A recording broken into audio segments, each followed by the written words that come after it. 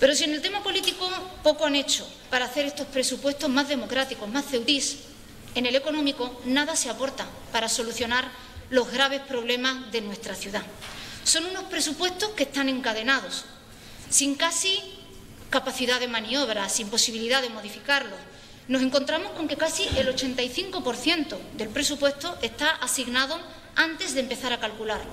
Y si se añade la falta de voluntad para cambiar y buscar soluciones reales, nada se puede hacer para apoyarnos. El Gobierno ha aprobado más de la mitad de las alegaciones de este grupo que están relacionadas con realizar un plan de construcción de viviendas, poner en marcha un plan de empleo joven, reducir las tarifas de la ITV, un plan de reconversión del comercio local y del taxi, además de actuaciones en zonas verdes o potenciar el turismo de la naturaleza aunque lo que realmente le preocupa al movimiento por la dignidad y la ciudadanía es que estos presupuestos no puedan paliar las consecuencias de la pandemia.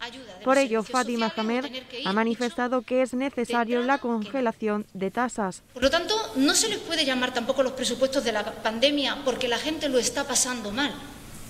Pero luego a la hora de apretarse el cinturón por parte de los cargos políticos, pues se prefiere que lo sigan haciendo los de siempre y no se muestra y se visibiliza también esa solidaridad, ese apoyo y esa reducción de salarios.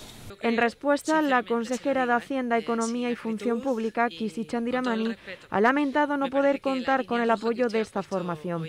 Para Chandiramani son solo excusas de su portavoz y reafirma que estos presupuestos tienen un carácter social, económico y sanitario. Los 23,6 millones de euros que se han puesto a disposición de los CEUTIES y que a partir del 1 de enero va a estar en vigor.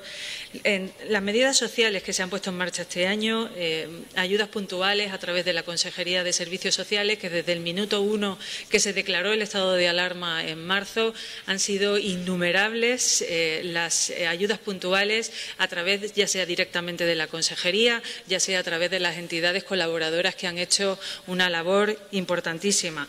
Y mire, y, no se ha dejado a nadie, no se ha dejado a nadie atrás.